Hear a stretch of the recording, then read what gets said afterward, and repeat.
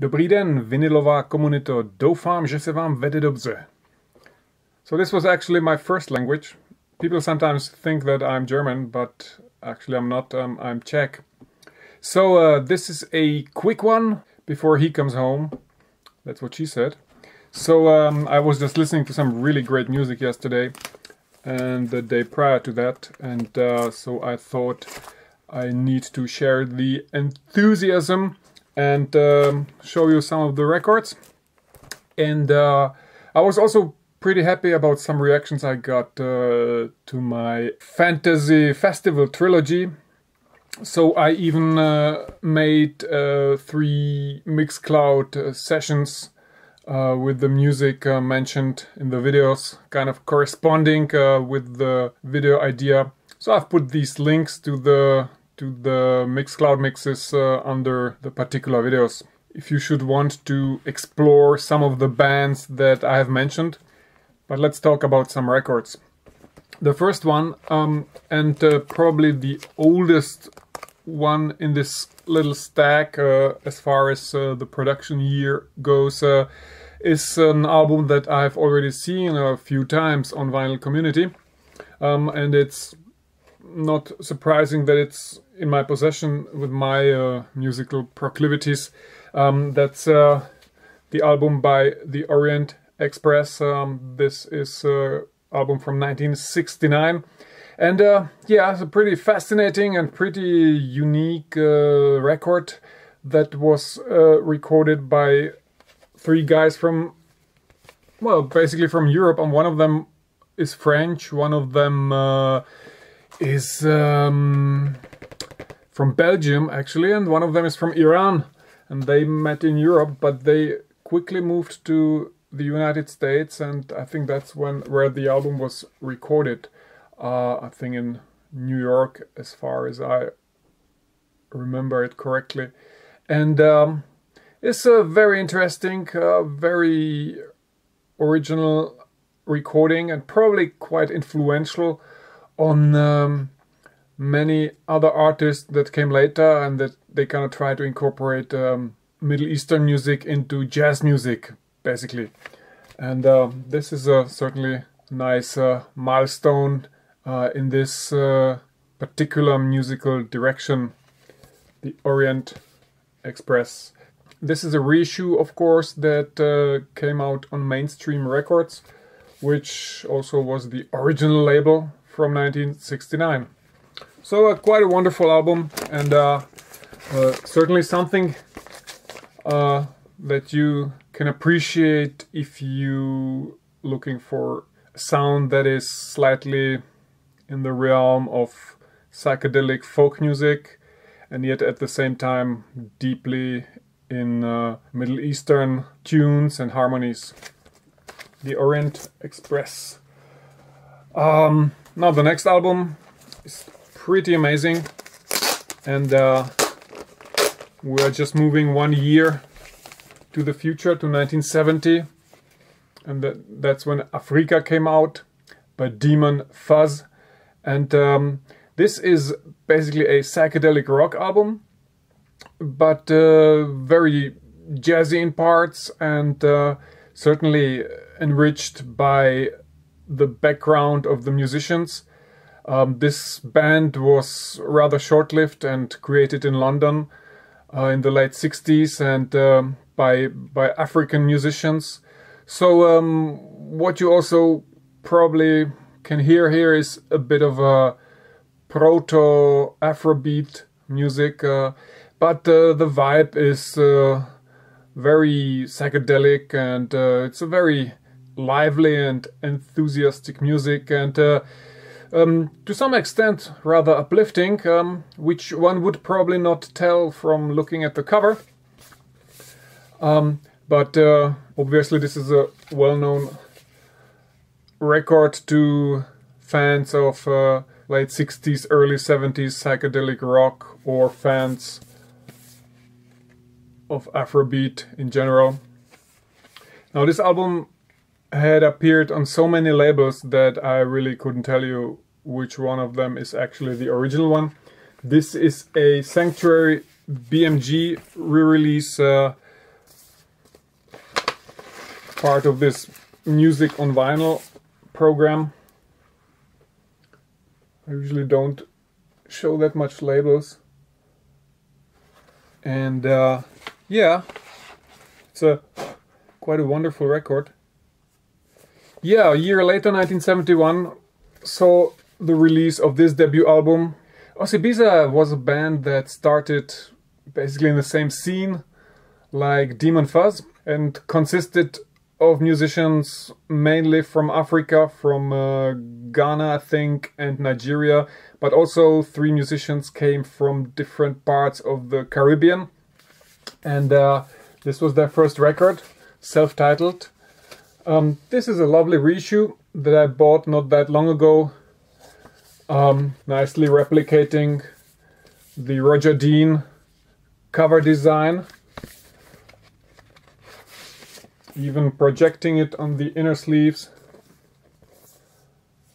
Yeah, and obviously, obviously this is a well-known album, great uh, example of early Afrobeat and uh, with a lot of psychedelic rock elements.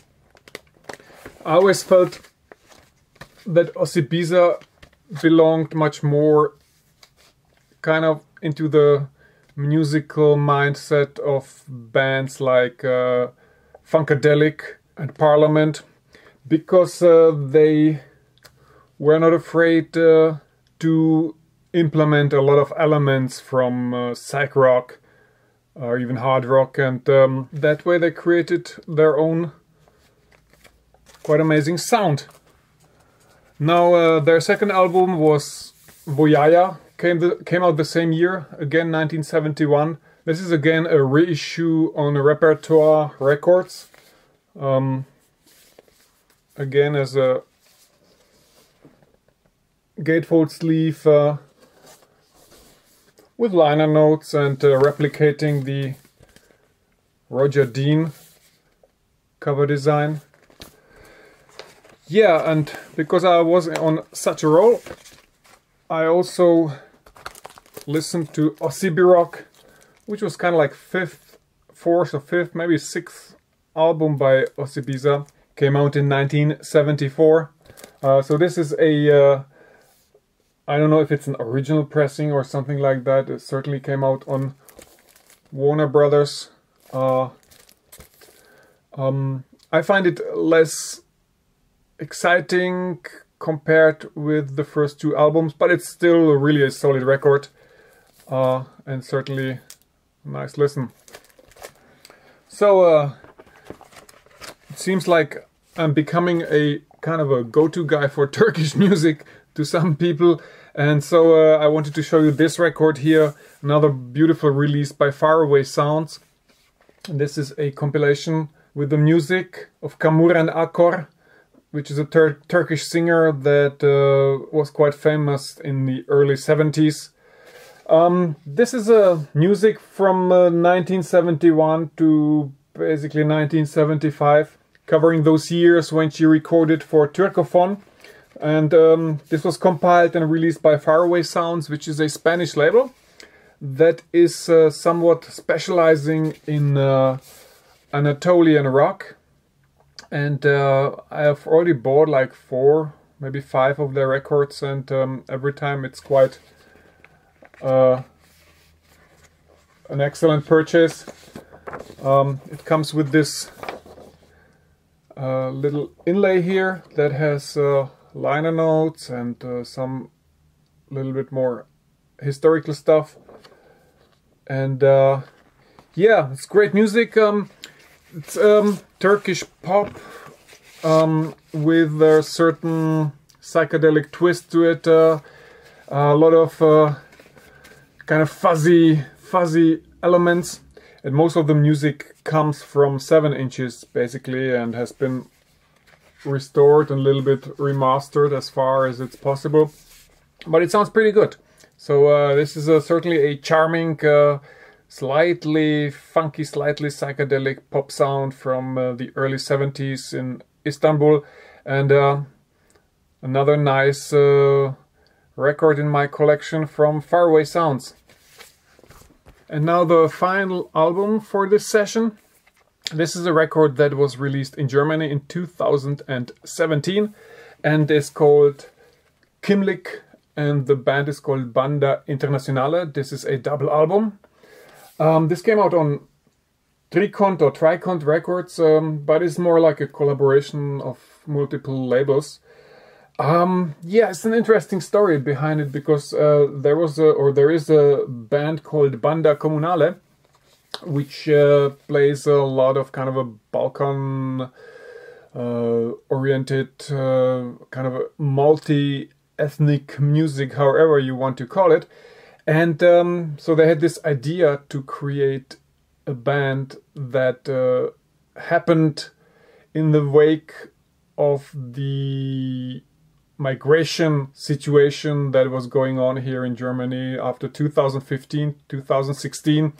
So uh, there was a great uh, influx of migrants into the country, and um, obviously these guys were thinking, yeah, there, there has to be a lot of excellent musicians among them. So let's create this uh, giant outfit uh, with a lot of people and uh, let's uh, just record the hell out of it.